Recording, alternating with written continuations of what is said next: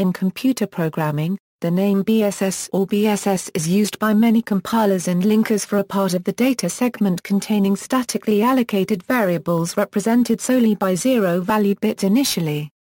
It is often referred to as the BSS section, or BSS segment.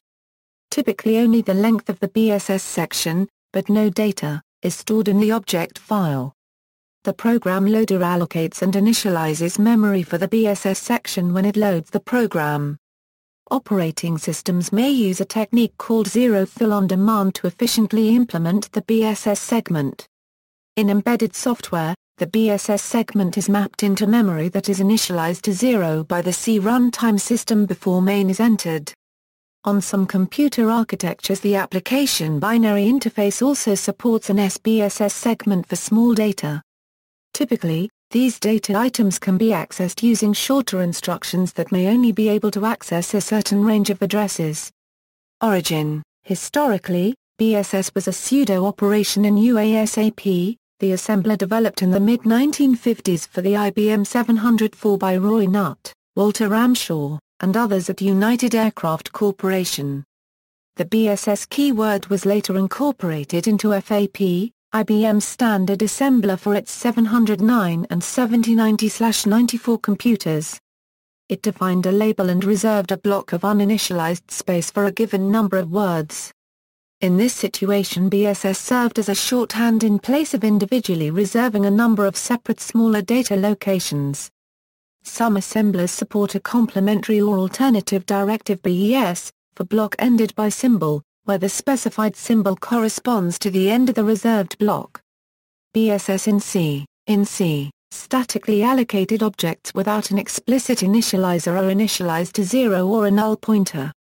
Implementations of C typically represent zero values and null pointer values using a bit pattern consisting solely of zero-valued bits. Hence, the BSS segment typically includes all uninitialized objects declared at file scope as well as uninitialized static local variables. Static local constants must be initialized at declaration, however, as they do not have a separate declaration, and thus are typically not in the BSS section, though they may be implicitly or explicitly initialized to zero. An implementation may also assign statically allocated variables and constants initialized with a value consisting solely of zero-valued bits to the BSS section. Peter van der Linden, a C programmer and author, says, some people like to remember it as better save space.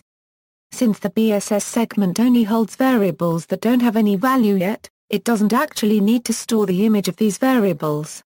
The size that BSS will require at runtime is recorded in the object file, but BSS doesn't take up any actual space in the object file.